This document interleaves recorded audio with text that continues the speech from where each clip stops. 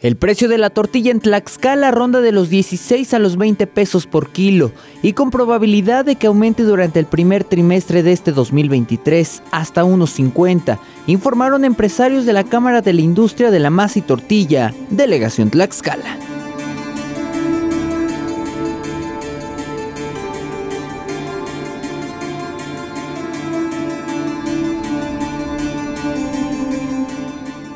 Tras la pandemia del coronavirus, los costos de la materia prima no han dejado de aumentar, por lo que la tortilla pasó de entre los 13 y 15 pesos por kilo a los precios actuales. Cuando entró el COVID, el maíz todavía lo conseguíamos en 6,800, 7,200.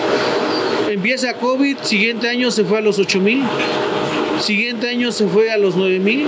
Ahorita estamos consiguiendo maíz de entre 9 mil 800 a 11 mil pesos dependiendo de la región. Pero además el gremio de la masa y tortilla en Tlaxcala prevé una escasez de maíz a nivel nacional tras el conflicto en Culiacán, Sinaloa. Pues estamos en una incertidumbre porque en Sinaloa acaba de ocurrir un problema no sabemos hasta cuándo nos vayan a mandar maíz o si es que el maíz llegara a llegar, obviamente cuando empiece a escasear va a haber escasez, los maiceros van a subir sus costos porque no quieren vender todo, se va a tener que subir la tortilla, entonces estamos a la espera de qué es lo que vaya a suceder eh, en el transcurso de este tiempo. Estos reajustes han reducido las ventas hasta en un 20%, pues a pesar de ser un insumo de la canasta básica, a las familias tlaxcaltecas ya no les alcanza. Es que es lo básico, lo básico de comprarlo y de tenerlo para este, pues es para alimentarnos y todo es algo básico que hay que comprar a fuerzas. Tal vez ya en menor cantidad.